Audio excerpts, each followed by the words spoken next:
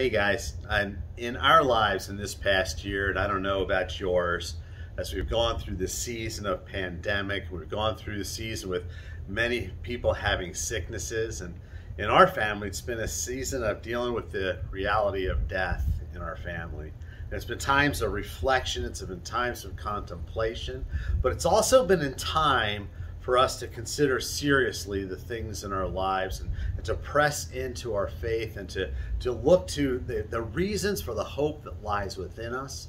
But you know, sometimes we can think of death as having this, this finality, but Jesus has overcome death. And it says this in 1 Corinthians chapter, chapter 15, verses 54 and 55.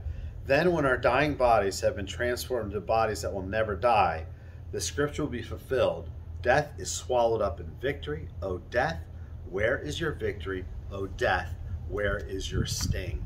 In our culture, it seems that we want to death to disappear, but in reality, the only way that we can handle those things that are so difficult in this life is looking to Jesus, where death loses its sting because we have the hope of eternal life and the hope that is a confident assurance that we will be with the Lord, we will be with those that we love. And this, this life, these things are only going to be but for a moment. It will all be together, and death will be and has been overcome by Jesus.